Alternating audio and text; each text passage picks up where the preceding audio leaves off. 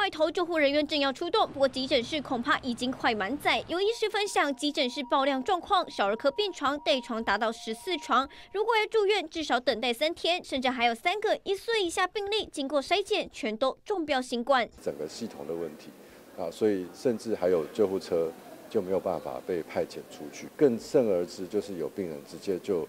把地上呢当做他的床来躺。台大急诊等待住院人数已经破百，台北马街也五十六人等着住院。新冠疫情回归，预估八到九月达到高峰，最近却面临病毒大乱斗状况，甚至接下来暑假即将来临，就怕出游造成疫情传播更快，而且病毒似乎不怕热。跟天气热不见得有相关，但是呢，呃，我们的人群的流动或人群的交际是有关系的。天气热待在室内，那室内有可能在一起用餐啊，比较容易促成这样的一个病毒的传播。虽然依照过去状况，病毒的确会在天冷时活跃度比较高。不过这回就连医师也回应说是反常的夏天，民众恐怕不能轻忽。但更可怕的是，台湾未来恐怕要面临没胸腔科可看的窘境。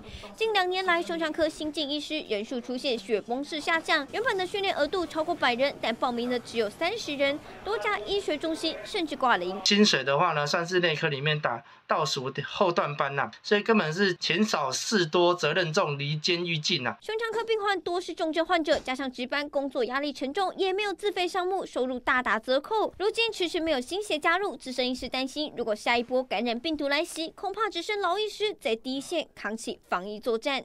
接盘见王一听台北报道。